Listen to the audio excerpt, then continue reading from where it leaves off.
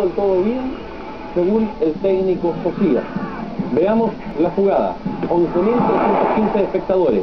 Este primer remate a portería, cabo de pía tras el disparo de Víctor Hugo Castañeda. Ahí vemos una media distancia muy bien ejecutada por el zurdo del agua, acá está un poco recto, pero desvía muy bien el arquero de Cabo. De Luca en el cabezazo y bien Vargas al lanzamiento de esquina, el centro de Muñoz.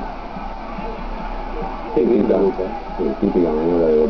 Pero gana la posesión y claro, cabecea muy bien y desvía el arquero. Insistencia de Universidad de Chile. Docabo hizo un buen partido al remate de Mora. Y se queda con la pelota el buen arquero de Temuco. Fin de la primera etapa, marcador en blanco 0 a 0. Al minuto, ex universitario, reinero de distancia, prueba al arquero Vargas. Pero vamos desviado mucho efecto en el borde. Y esta pelota que gana. Poirier, Poirier con Castañeda, perdón, con Corrales, Corrales para Poirier. Y qué golazo, ¿eh?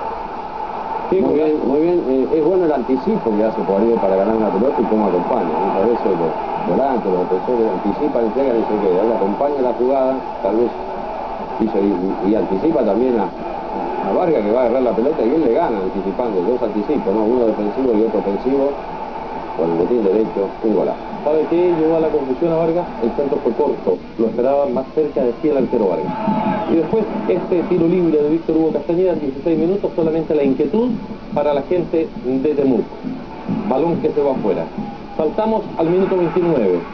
Poirier se pega, ¿no? Dispara nuevamente tratando de convertir y ahora sí que encuentra bien ubicado en este tiro al meta universitario. Saltemos al minuto 32. Y acá aparece el nombre de la reaparición, Cofré. Gran jugador, notable, jugador que está queriendo volver a sus mejores momentos. Ahí lo vemos habilitado. Él con zurda no tiene problema de perfil ni de, ni de pie. Se abre muy bien de zurda y ahí, claro, está un poco tapado y el remate final se va a desviar. Nos alegramos mucho por él.